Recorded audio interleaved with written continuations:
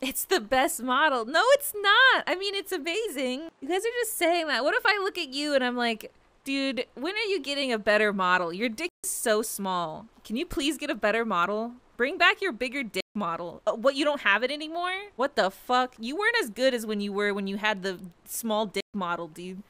Like, what? It's the same thing. Dude, wait. In VTuber senses, getting an erection is like enabling a toggle. You just enabled your dick slider.